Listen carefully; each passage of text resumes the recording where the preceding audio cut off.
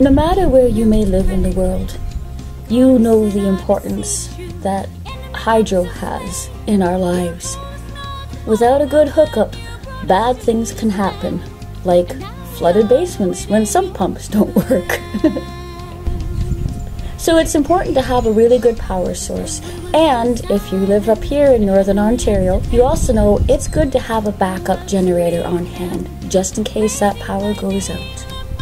Having a backup generator gives you a sense of security, a sense of empowerment. Our lives are very much the same we all have a desire to have power over our, our own lives and our own destinies. But I have discovered over time that there is a greater power than what I have in myself. And I have found it in God. And I am not the first one to find it there.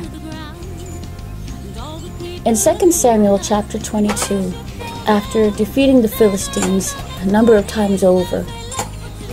King David said, It is God who arms me with strength and makes my way perfect. He makes my feet like the feet of a deer. He enables me to stand on the heights. David found strength from God, and it had been promised to him. God lifts us up himself as we rely on him.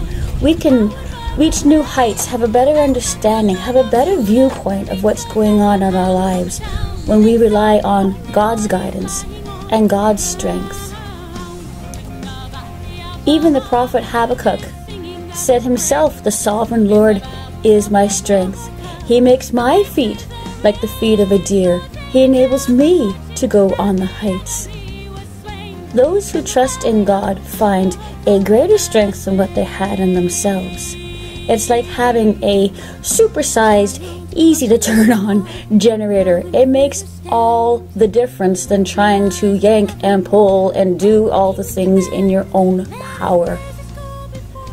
In Psalm 91, God says, Because he loves me, I will rescue him, I will protect him, because he acknowledges my name.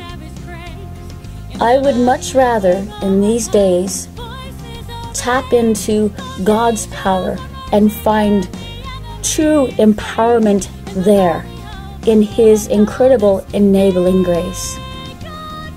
And then I can say, as Paul does in Philippians, I can do everything through Him who gives me strength. Blessings.